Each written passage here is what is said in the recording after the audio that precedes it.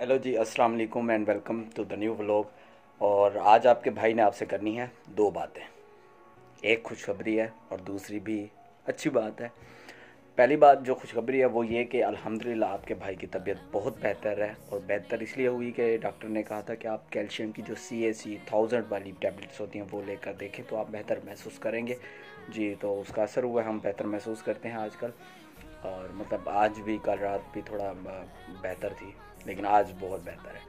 تو آگے بڑھتے ہیں تو دوسری بات دوسری بات یہ ہے کہ یار جب لاک ڈاؤن سٹارٹ ہوا تھا تو سٹارٹ میں کافی عجیب تھاٹس آتی تھیں مجھے اور دل گھبراتا تھا، میں نے شیئر بھی کیا تھا اور مطلب اندر سے نہ ایک ڈسٹرب جیسے ہوتا ہے انسان، ویسے رہتا تھا۔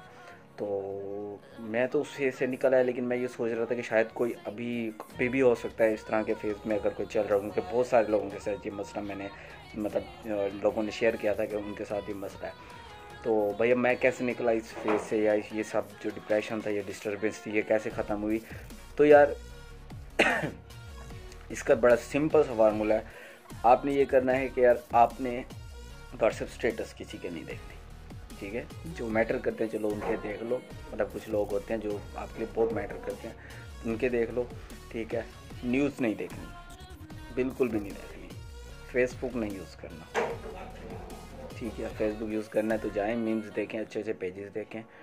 کیونکہ میں نہیں سمجھتا کہ ہمیں اس کے بارے میں زیادہ سوچنا چاہیے۔ ہمیں بس صرف یہ کرنا چاہیے کہ اپنا خیال رکھنا چاہیے۔ دیٹ سال، ٹھیک ہے، اپنی جو احتیاطی تدبیر ہیں وہ کریں۔ آپ، میں کتنے دن ہو گئے، میں گھر میں بیٹھا، آپ سے اس طرح سے ولاگ کر کے بات کرتا ہوں، کسی اور طرح سے مطلب باہر جا کے ولاگنگ نہیں کرتا۔ ایک دو دفعہ باہر گیا، وہ بھی جانا ضروری تھا تو اس وجہ سے گیا۔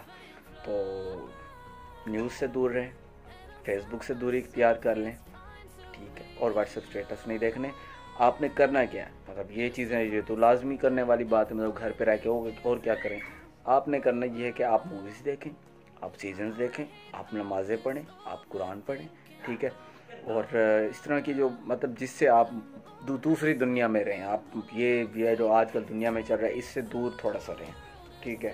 آپ ولاگس دیکھنا سٹارٹ کر دیں، بھائی کے ولاگس بھائی کے چینل کو پروموٹ کرنا سٹارٹ کر دیں۔ اس طرح کی بڑی سوچیں آپ بہت کریٹیو لوگ ہیں، اس طرح سے کچھ بھی کر سکتے ہیں۔ تو آل آئی وانٹ کے اگر کوئی بھی اس چیز سے ابھی بھی سر مطلب ہے ڈسٹربڈ ہے یا اس فیز میں ہے، تو اس طرح کی اگر ان چیزوں کو اپنا لے تو انشاءاللہ نکل جائے گا۔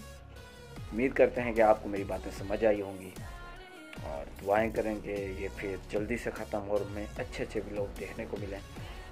تب تک کے لیے اپنا دھیان رکھیے خوش رہیں سلامت رہیں۔ اللہ حافظ۔